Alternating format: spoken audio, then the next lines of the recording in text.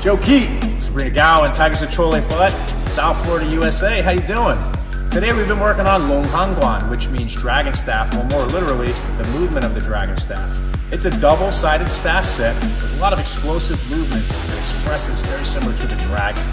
Choy Lee Fut has a lot of really cool staff sets, some that are double, some that are single, and even some that are combined. This is actually one of the first weapons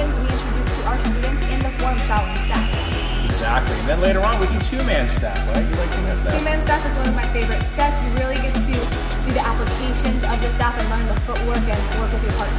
Yeah, and I really love the footwork on the sets. It's really cool, really evasive, and gets you in and gets you out.